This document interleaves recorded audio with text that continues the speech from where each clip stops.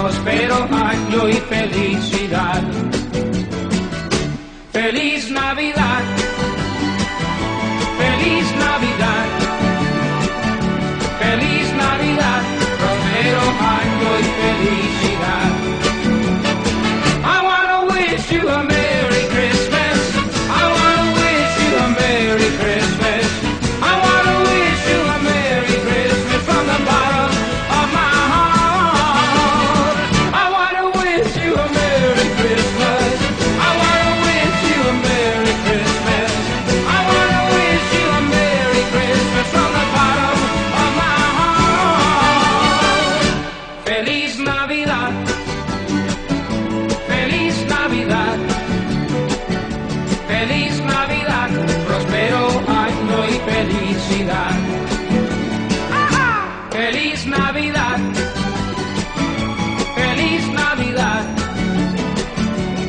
Feliz Navidad. Prospero año y felicidad.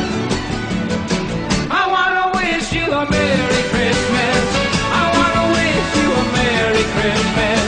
I wanna wish you a Merry Christmas from the bottom of my heart. I wanna wish you a Merry Christmas.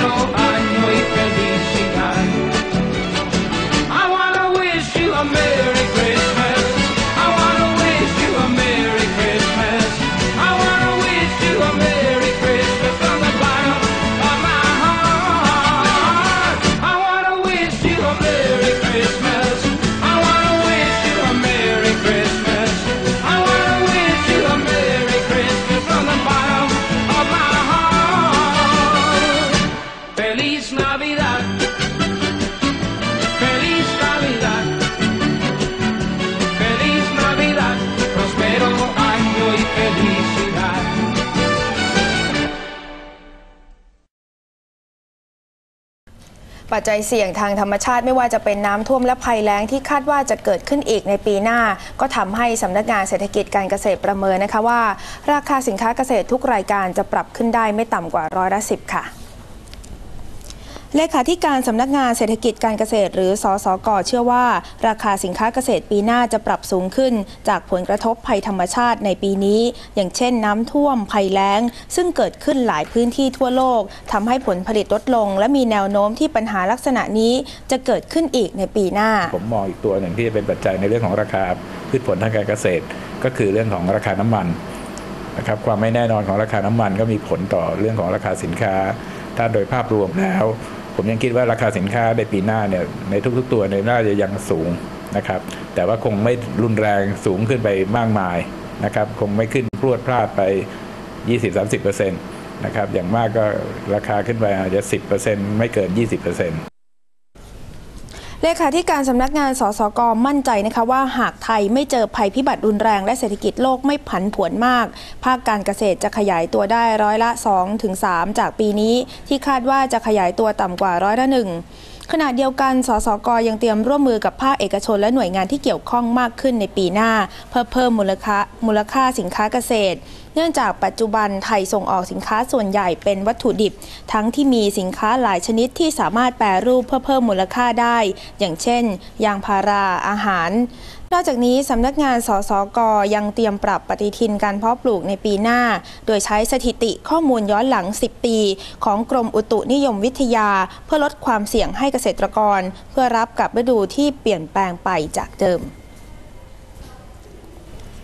การขนส่งและกระจายสินค้าของไทย โดยเฉพาะพื้นที่ภาคกลางที่ได้รับผลกระทบอย่างหนักจากปัญหาน้ำท่วมที่ผ่านมานะคะ ก็ส่งผลให้เกิดภาวะการขาดแคลนและกักตุนสินค้าในหมู่ประชาชนค่ะ นี่ถือเป็นบทเรียนสำคัญของเหตุการณ์น้ำท่วมใหญ่ในรอบ 50 ปีนี้นะคะทำให้ประชาชนต้องหันมาปรับรื้อยุทธศาสตร์ด้านโลจิสติกกันใหม่ ทั้งเพื่อตอบสนองภายในประเทศ ตลอดจนรองรับการเปิดเสรีประชาคมเศรษฐกิจอาเซียนที่จะมาถึงนี้ค่ะ ติดตามจากคุณนันทินีรายละเอียดค่ะ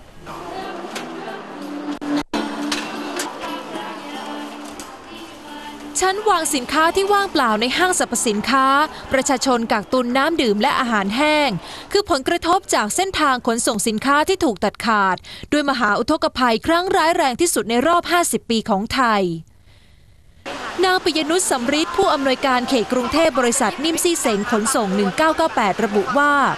การขนส่งสินค้าบริเวณภาคกลางต้องหยุดชะงักไปนานนับเดือนทำให้สินค้าไม่สามารถกระจายไปยังภูมิภาคต่างๆ ได้ สิ่งที่ตามมาก็คือภาวะขาดแคลนสินค้าและผู้ประกอบการรายย่อยต้องหยุดการผลิตโดยปริยาย ดังนั้นภาครัฐต้องถอดบทเรียนและวางแผนจัดระบบการขนส่งสินค้าใหม่ ด้วยการออกแบบศูนย์กระจายสินค้าออกไปยังหัวเมืองสำคัญอื่น ๆ เพื่อไม่ให้กระจุกตัวอยู่เฉพาะในเขตกรุงเทพและปริมณฑลนอกจากนี้ควรจัดหาพื้นที่ใหม่เพื่อตั้งเป็นศูนย์รวมโลจิสติก หรือนิคมอุตสาหกรรมโลจิสติก ที่มีคลังสินค้าเป็นหัวใจสำคัญ ขณะที่นายสุวรรณชัยแสงสุขเอี่ยม นายกสมาคมคลังสินค้า ไซโล และห้องเย็นชี้ว่าคลังสินค้าในไทยไม่มีมาตรฐานที่ชัดเจน และส่วนใหญ่แข่งขันด้านราคา แต่ละเลยการดูแลรักษาสินค้า ขณะเดียวกันนโยบายของภาครัฐ เน้นการควบคุม แต่ไม่ได้มุ่งให้ธุรกิจยกระดับการพัฒนา เวลาที่เราพูดถึงระบบโลจิสติกหลายคนคงนึกถึงการขนส่งเพียงอย่างเดียวนะคะ แต่ระบบโลจิสติกยังรวมถึงการจัดการคลังสินค้า งานด้านเอกสารและกระบวนการต่างๆ ที่ทำให้สินค้าและบริการส่งตรงไปถึงมือของผู้บริโภคได้รวดเร็วและปลอดภัยที่สุดค่ะ แต่จากปัญหาน้ำท่วมที่เกิดขึ้นประกอบกับในปี 2558 ไทยจะก้าวไปเป็นส่วนหนึ่งของประชาคมเศรษฐกิจอาเซียนอย่างเต็มตัว ดังนั้นจึงถึงเวลาแล้วนะคะที่ไทยต้องวางยุทธศาสตร์โลจิสติกใหม่เพื่อการปรับตัวครั้งใหญ่ค่ะ ต้น ทุนโลจิสติกทั้งหมดของไทยกว่าครึ่งหนึ่งเป็นค่าขนส่ง ซึ่งมีสัดส่วนการขนส่งทางถนนมากถึงร้อยละ83ถึง85 ของการขนส่งทั้งหมด แต่จากปัญหาน้ำท่วมและแนวโน้มราคาน้ำมันที่สูงขึ้น ประธานสมาพันธ์โลจิสติกไทยมองว่า ไทยควรพัฒนาการขนส่งทางน้ำในประเทศ เพราะสอดคล้องกับสภาพภูมิศาสตร์ตามภูมิภาค และประหยัดต้นทุนเชื้อเพลิง นอกจากนี้ยังเชื่อมโยงการขนส่งระหว่างประเทศได้อีกด้วย อันนี้เป็นหัวใจสำคัญเลย ถ้าเราไม่มีท่าเรือเนี่ยการพัฒนาอย่างอื่นมันก็ลำบากนะฮะเรือจะไปใช้ที่ไหน ที่เราเห็นชัดๆก็คือว่า เอกชนผู้ประกอบการขนส่งทางน้ำเนี่ยอยากจะใช้ท่าเรือแหลมฉบังมากขึ้นนะในการขนส่งโคส t a l คือชายฝั่งนะบอกพอไปใช้ท่าเรือแหลมฉบังนี่ก็ไปโดนอัตราค่าภาระซึ่งสูง ปัญหาที่ถูกสะสมมานานของการขนส่งทางรถไฟ ตั้งแต่ระบบราง หัวรถจักร และความล่าช้าทำให้การขนส่งทางรถไฟในปัจจุบันมีสัดส่วนเพียงร้อยละ 2.2 ของการขนส่งทั้งหมด แต่ในปี 2558 ถึง 2559 รองผู้ว่าการรถไฟแห่งประเทศไทยเชื่อว่า สัดส่วนการขนส่งดังกล่าวจะสูงขึ้นเป็นร้อยละ 6 หรือ 30 ล้านตันต่อปี จากนโยบายปรับปรุงโครงสร้างพื้นฐานรถไฟไทย ที่ใช้งบประมาณกว่า 170,000 ล้านบาท ขณะเดียวกันต้องสร้างรางรถไฟในอาเซียนให้เชื่อมต่อกันได้ทั้งหมด พร้อมเพิ่มจุดเปลี่ยนถ่ายสินค้าระหว่างรถไฟและถนน เพื่อรองรับการขนส่งสินค้าระหว่างจีน อินโดจีน และมาเลเซีย ก่อนปี 58 เนี่ยทำยังไงจะให้มีจุดเชื่อมทั้งหมดโดยไม่ขาดสาย ตอนนี้ในขณะที่จุดเชื่อมที่ขาดอยู่เนี่ยใหญ่ ๆ จะเกิดขึ้น 1. ประเทศไทยกับทางเขมรนะครับผมก็จะมีช่วงระหว่างชายแดนประเทศไทยไปยังศรีสพล 48 กิโลเมตรขาดอยู่ ช่วงจากไทยที่อรัญญอรัญญประเทศไปที่คลองลึกเออคือเขตแดนอีก 6 กิโลเมตร แล้วก็มีขาดที่ทางด้าน กัมพูชากับทางเวียดนามอีก 300 กิโลเมตรครับผม ในโลกแห่งการค้าต้นทุนโลจิสติกยังคงเป็นอุปสรรคใหญ่ของผู้ประกอบการไทย ซึ่งเลขาธิการคณะกรรมการพัฒนาการเศรษฐกิจและสังคมแห่งชาติตั้งเป้าไว้ว่า ในช่วง 5-10 ปี ต้นทุนโลจิสติกของไทยจะลดลงเหลือร้อยละ 13-15 ของ GDP จากปกติร้อยละ 18-19 ของ GDP ด้วยการพัฒนาระบบรางและไอทีเป็นสำคัญ รวมถึงตั้งศูนย์โลจิสติกกระจายไปตามแนวระเบียงเศรษฐกิจตะวันออกตะวันตก และพื้นที่ชายฝั่งทะเลภาคตะวันออก เพื่อรองรับการค้าในภูมิภาค จีนกับเวียดนามเขาก็ทำเป็น3 3เส้น เมื่อรถรถไฟที่เป็นหัวรถลากเนี่ยที่เป็นระบบ 1 เมตรเนี่ยก็วิ่งได้รถ 1.4 35เนี่ยก็วิ่งได้เช่นเดียวกัน ไม่ได้เป็นปัญหาฮะหรือว่าเราอาจจะแยกออกมาเป็นอีกอีกรางหนึ่งเป็นรางเฉพาะในเรื่องเออเฉพาะ 1.4 เมตรเนี่ยก็ได้ Republic of the Union of Myanmar อุตินเซนล่าสุดนางสาวยิ่งลักษณ์ชินวัตรนายกรัฐมนตรีได้เดินทางไปยังพม่า เพื่อเจรจาทวิภาคีในประเด็นความร่วมมือพัฒนาท่าเรือน้ำลึกทวายและนิคมอุตสาหกรรมทวาย ซึ่งท่าเรือแห่งนี้จะทำหน้าที่เป็นท่าเรือน้ำลึกฝั่งตะวันตก และแหล่งอุตสาหกรรมขนาดใหญ่ อย่างไรก็ตามนายอาคมบอกว่า